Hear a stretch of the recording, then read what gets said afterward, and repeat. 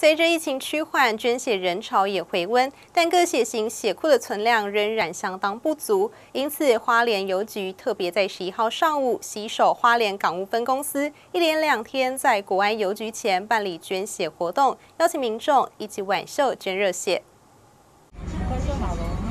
为了舒缓血库存量不足的问题，花莲邮局特别携手花莲港务分公司，从十一号开始，一连两天在国安邮局前办理捐血活动，吸引不少邮局及港务公司同仁、民众到场挽袖捐热血。由于这一两年新冠疫情的关系，让这个捐血比较有停滞，我们的捐血量也比较不足。那我们中华邮政一向都非常热心公益，所以这一次特别。联合的花莲港务公司，希望能够唤起我们花莲的同仁、一般的大社会大众，能够一起来捐血。那这一次的活动，我们也也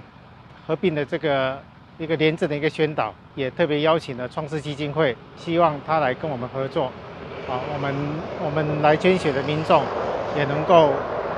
参与这个公益活动。虽然在疫情趋缓后，捐血人潮有逐渐回温，但目前在花莲的血库存量也只剩五天，远远不足七到九天的安全标准。花莲捐血站表示，其中最为缺乏的是 O 型血，其次为 A 型及 AB 型。有意捐血的民众，除了十一、十二号两天上午九点到下午四点可以前往国安邮局前捐血之外，在十三号当天，花莲邮局还有一场捐血活动，就在明理国小附设幼儿园前，欢迎民众。一同到场，热情挽袖，展现捐血一代救人一命的爱心精神。